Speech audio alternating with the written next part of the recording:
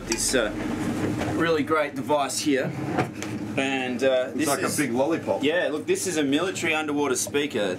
Typically, with acoustic attraction, it appeals to two key senses in the shark both the internal ears, which they have, and also the ability to pick up low frequency vibrations, which they pick up down their lateral lines.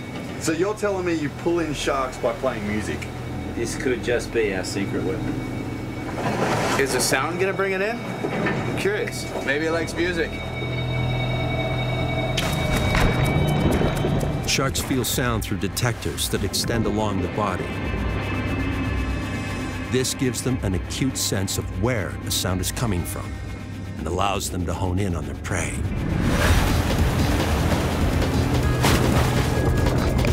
Okay, I'm ready.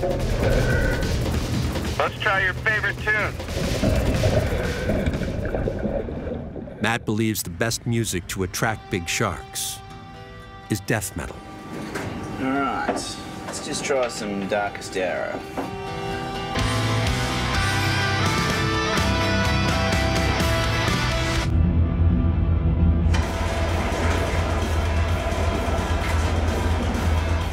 Death metal? really? The dense tones of heavy metal simulate the low frequencies of struggling fish.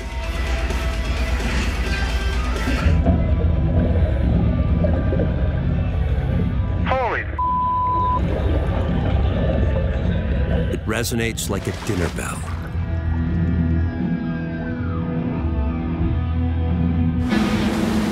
The 12 foot great white soon arrives and circles the cage.